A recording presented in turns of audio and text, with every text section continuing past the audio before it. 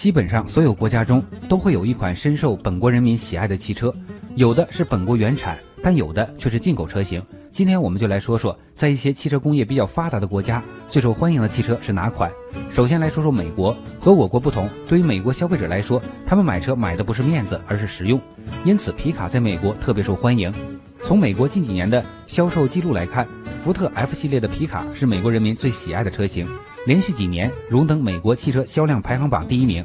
第二，德国，德国汽车最出名的品牌就是大众，而在大众众多车型中，高尔夫算是最畅销的车型，算是德国消费者眼中的神车。虽然大众在我国的毛病不少，但我国的大众毕竟是合资，要全是德国原产，估计大众的黑历史就不会这么多了。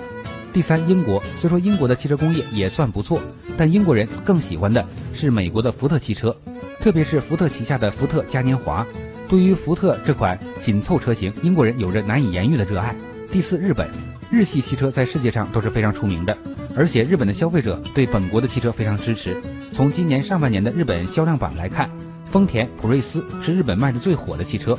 第五，韩国韩国卖的最火的汽车不是轿车，也不是 SUV，而是一款轻卡，现代 port 是现代旗下的一款轻卡。这款轻卡在韩国的地位就如同五菱宏光在我国的地位。第六，中国虽然我国的五菱宏光非常受欢迎，但国外的人提到我国汽车，首先想到的还是红旗。毕竟作为我国的礼宾车，红旗的出镜率非常高。在路上要是看到一辆红旗，不用猜就知道车上坐的人非富即贵。